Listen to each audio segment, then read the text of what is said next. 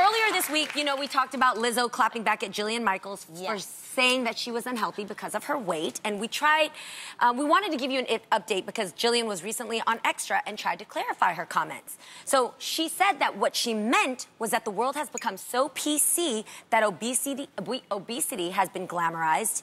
And as someone who used to be overweight, she knows the health ramifications that comes with being overweight. She used to be about 175 at 5'1", right? While Jillian didn't apologize, she did say oh, that what? she I regrets. Mean, I really. Hold on. Um, let me get. let me, let me get, get, let me get the facts out. Let me get the facts out. While Jillian didn't apologize, she did say that she regrets the debate be because it became about Lizzo instead of the bigger issue because she is a big fan of Lizzo. So, ladies, does this change about how we feel about what Jillian said? No. She still no. said it. She and it was the way she said it. She didn't take yeah. away, she didn't no. apologize. She's no. And by the, the way, she has a black daughter. Okay? So my thing is there's there's something about this woman that made her feel like she could disrespect Lizzo like this. That's really my issue. Yeah. There's so, and if we're really being honest, I really feel like it's because she considers Lizzo to be overweight, and because Lizzo is a black woman, that she felt like she could just say whatever, say anything, and not have to have any um, respect, and she could speak with such loose candor. But the truth uh. of the uh-huh. matter is, is that she had no way, no place to say how she said it, and there was absolutely because she is somebody who says that she was overweight, etc. She should know that there is a sensitivity, mm -hmm. and that there is a thoughtfulness about how you address these types of topics. Yes, absolutely. Here's what I don't like. She says that her that we as the world got mad because we are glam- we are glamorizing obesity. That we're saying, oh, somebody's big, so let's go ahead and applaud for that. No, no. Here's what I glamorize. Here's what I applaud somebody who loves themselves. And here's why. Hold, yes. hold the applause. Let me, let me get to this, because I was on The Biggest Loser, and I was like the coach to give fashion makeovers after they were done. And I respect Jillian's work.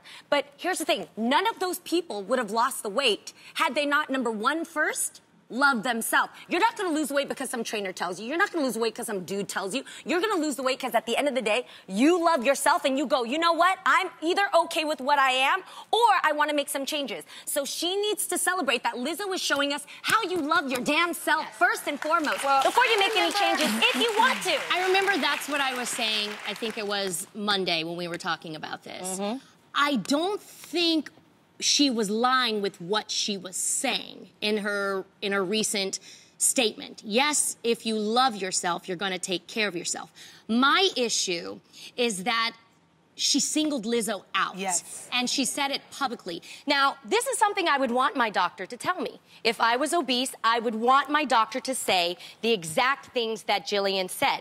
But I felt like she gave unsolicited advice. Yeah. And we all know sometimes when you hear unsolicited advice, yeah. even if it may be true, you feel some kind of way. So I felt like if she's gonna say that, yo, first of all, let Lizzo say something or or or or, or at least it, say, hey, Jillian, this is what I'm, you know, looking, you know, I need help, I'm reaching out. Then Jillian can respond mm. with that response. Otherwise, right. just don't don't don't say anything. We have and a problem. We are having a problem her. in this in this country where we attack people that instead of attacking the issue. Yes. yes. If I say something that you don't like, don't attack me. Attack what I'm talking, talking about. about. Yes. Then I can respect you. Yes. I can't respect you yes. if you're attacking me personally for how I look or how you want to shame me. and argue. that's what's happening with yeah. Lizzo. You're attacking her personally because she is having the time of her life. Attack the issue that maybe, you know what?